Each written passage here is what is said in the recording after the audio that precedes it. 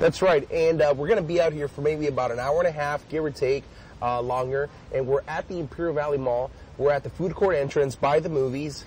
And um, just uh, if you're at home and you um, you know are watching this and you want to if you want to stop by, it's a little windy. The weather is kind of catching up to us, but we would be more than happy to see you guys if you could get out here. Good catch, Eduardo. Thank you so much. I'm back. like we said, it's a little a little windy. And uh, all the donations stayed at Safe House in Yuma. Well, all the donations here.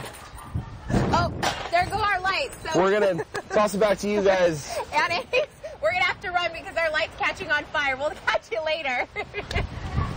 Oh my goodness, as you can see, we've had some severe weather here in the valley. Uh, just blew our lights over. It's been windy and stormy. It may put a quick end to our Warm Some Hearts drive, but we're going